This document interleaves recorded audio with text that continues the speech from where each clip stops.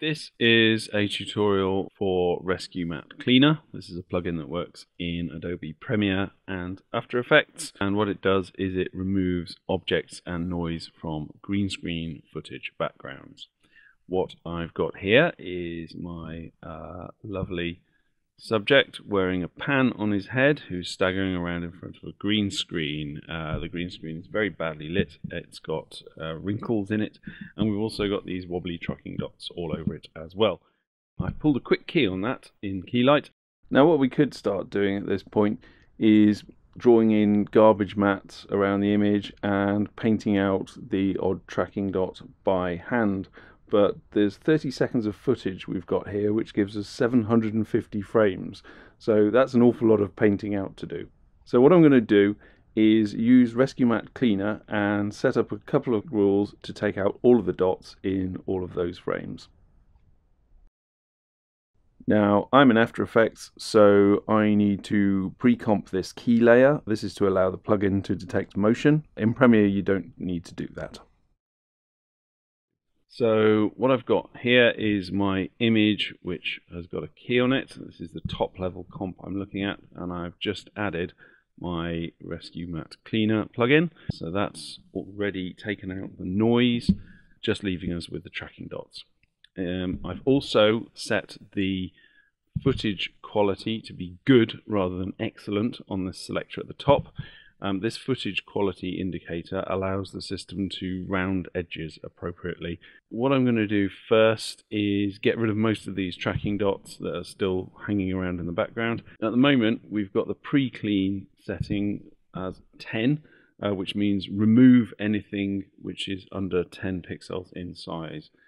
So I'm going to up that to 20 to try and get rid of, yeah, let's get rid of most of the tracking dots from the background. If I to 30, what that's done is remove any object in the frame that's smaller than 30 pixels.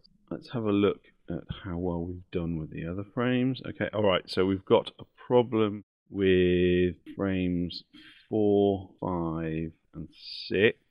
Okay, you can see in these frames what's happened is because there are tracking dots that are coinciding with the edge of our subject, and they look like part of the central image. So what we're going to do is get rid of those by adding this further processing setting here. So if I go remove on here, this makes this lower section light up, and we're going to get rid of those tracking dots by isolating them as, first of all, as color. So we're going to say, okay, we're going to choose a color, and that's selected some of that tracking dot and we want to probably get the second one as well. When you're selecting colors, it's a good thing to do to use the show color info setting at the top. What this does is it gives you a false color display of what's going on with the cleaning process. Pink and blue means it's been got rid of in the pre-cleaning section. Anything blue is just noise that it's lost. Anything pink has been removed because it's part of this pre-cleanup setting here. So this size we've set to 30, so it's removed anything smaller than 30 in the initial pre-clean, and these are these pink blobs. And then the bits that we're interested in next, which we're selecting, are these red areas here. So I, I think I need to get a bit more of that color accurate. So let's try and get as much of that as we can without selecting the rest of the image. Now, a lot of the colors are sort of coinciding with other parts of the image. This isn't a problem. Uh, we'll sort it out in a minute. Let's just get our two dots selected. Okay, so we've said these colors in this range, select them, and what we're going to do now is tell the plugin to remove them only if they're on an object edge.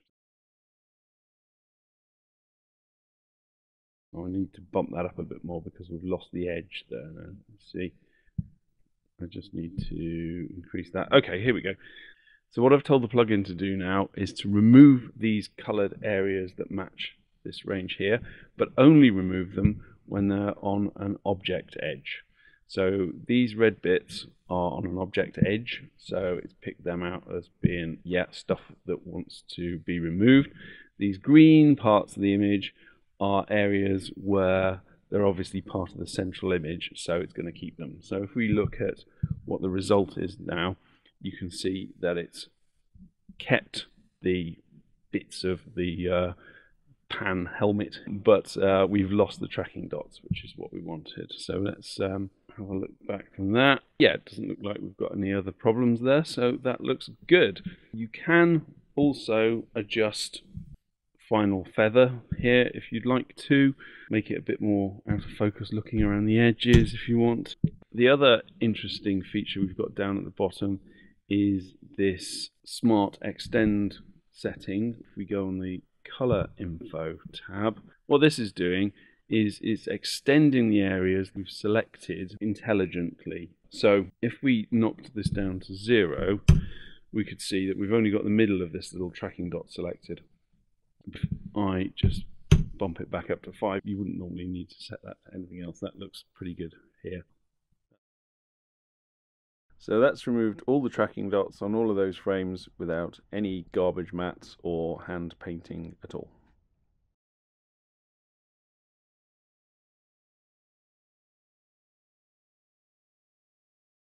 So that's the Rescue Matte Cleaner plugin for After Effects and Premiere.